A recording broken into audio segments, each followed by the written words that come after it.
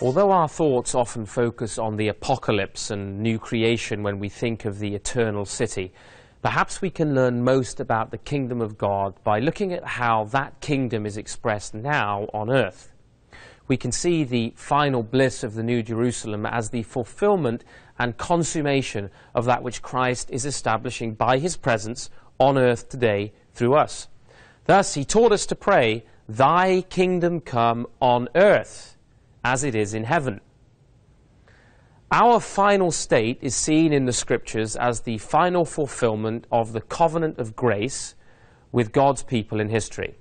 Our history began in paradise, a place of covenant relationship that was broken and where the first announcement of the covenant of grace was given in Genesis 3:15. We are shown heaven as a paradise where the curse is removed and where God's covenant people serve him forever. Christ's victory over sin and death and the curse is cosmic and all encompassing in scope. It was a victory for material creation, not simply for immaterial souls. Our final state is not the heaven where those who are now dead in Christ live. They still await the full realization of the kingdom. All of creation longs to be clothed with heavenly glory. Those who are alive, while not wishing to die, nonetheless long for mortality to be swallowed up by life, as Paul puts it. The Spirit given to us is a down payment and foretaste of this recreation. We are still waiting for our adoption as children, the redemption of our bodies, when the totality of covenant life in the city of God is fully realized. What does it mean then to live now as a citizen of the city of God, as a child of this kingdom that has come and is still coming? Our faith is a comprehensive faith that applies to every aspect of human life. If the kingship of Christ was recognized and applied in every realm, our individual lives, families, workplaces, society, and nation would be transformed as a result. God's plan in Scripture is for redemption and restoration through Jesus Christ.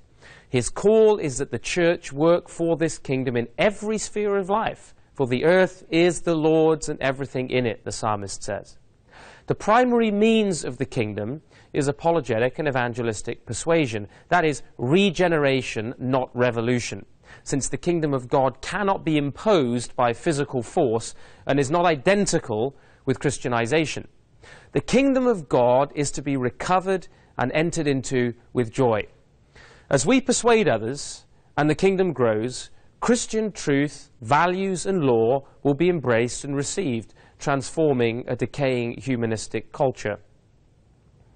So then, what sort of a city and kingdom are we inheriting, and how are we to respond? Let us conclude by hearing the scriptures. Instead, you have come to Mount Zion, to the city of the living God, the heavenly Jerusalem, to myriads of angels in festive gathering, to the assembly of the firstborn whose names have been written in heaven, to God who is the judge of all, to the spirits of righteous people made perfect, to Jesus, mediator of a new covenant, and to the sprinkled blood which says better things than the blood of Abel. I do not want to be ashamed of my life and service in the kingdom of Christ when I stand among the great saints and martyrs of the Golden City and the New Jerusalem, and nor do you. Therefore, let us keep the faith and lay down our lives for the city of God, for we are God's children now, and what we will be has not yet been revealed. We know that when he appears, we shall be like him, because we will see him Thank you is. for listening to this message brought to you by the Ezra Institute for Contemporary Christianity. To learn more about the Ezra Institute's mission to advance the Lordship of Christ, please visit www.ezrainstitute.ca.